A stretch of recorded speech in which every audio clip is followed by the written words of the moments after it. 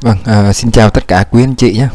Thì hôm nay em xin phép được gửi đến tất cả quý anh chị một lô đất view hồ cực đẹp ở thành phố Gia Nghĩa. View hồ ngay ngã ba thông thoáng với diện tích trên sổ là 1,1 hecta.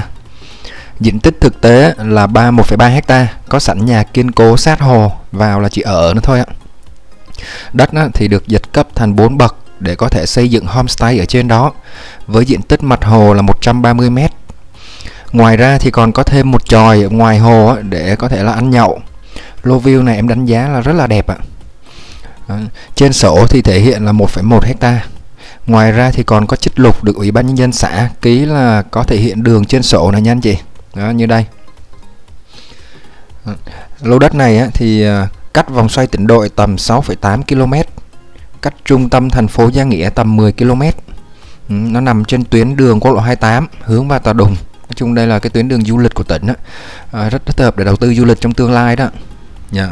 Em thì có quay flycam nhưng mà chắc bị lỗi nên không có video à, nhưng mà em nghĩ khi quay camera này và đi xung quanh đất như thế này thì cũng rất là chi tiết ạ mời anh chị xem thêm video nhé à, các anh chị mà vui lòng liên hệ với em á, thì qua số điện thoại là 0822 06 1234 để mà tham khảo thêm nhiều thông tin về bất động sản tại à, Đắk Nông ạ. Dạ. À, anh chị có thể th xem thêm cái thông tin về lô đất.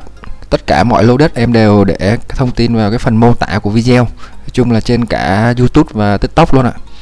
À, đó là những cái phần thông tin em ghi rất là chi tiết. Ngoài những cái cái thông tin em đọc ra thì còn em thông tin em ghi nữa. Rất là chi tiết nha anh chị. À, mời anh chị xem thêm video nhé.